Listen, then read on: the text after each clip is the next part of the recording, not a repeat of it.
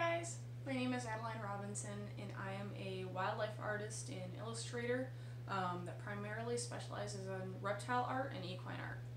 I've been drawing since I can remember. I've always wanted to make it a um, career of mine and today is my first day starting as a full-time animal artist. Um, I'm super excited. I have been working in the animal industry for a pretty long time and um, have just absolutely loved it.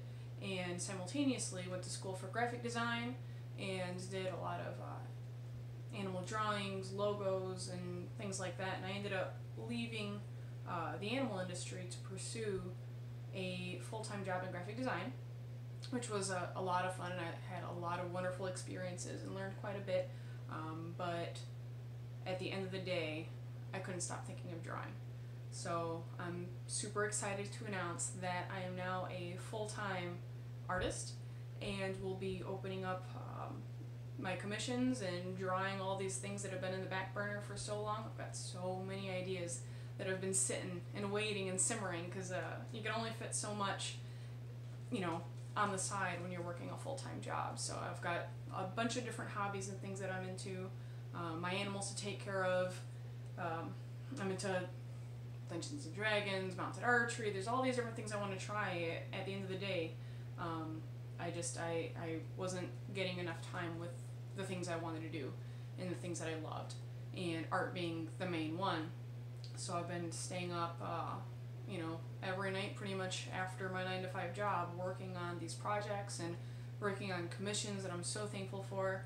Uh, working on just really fun ideas that I would have and um, there just wasn't enough time for it with a full-time job. So this is now my full-time job and um, I'm super nervous. I'm super excited. I decided why not put myself out there and I would like to be able to teach people what I know and see if I can help any other young artists out there or people looking to get into the animal industry, people that have questions. I'd like to be able to share what I know. Um, so I'm just super excited and pleased to announce that I will be starting, well, I guess this is the start of my YouTube channel. And uh, I'm hoping to add some more avenues for learning as well. So my goal with this is not only to be able to help myself and my, my work and trying to get that out there, but I also would love to help teach people as much as I can. Um, I've had some people request in the past uh, tutorials and videos on how I do some of my artwork, which I would absolutely love to do and would love to share. Art is something pretty much anybody can do. You just have to really practice at it and work really hard and dedicate a lot of time. And um, you know, the more you do, the more skilled you'll become and the, the more you try to learn. But um, yeah, I'm really, really excited and looking forward to this new chapter. And um, yeah, I don't really know what else to say. I'm just super excited and I just really hope that uh, that I can I can share a lot. So um, stay tuned.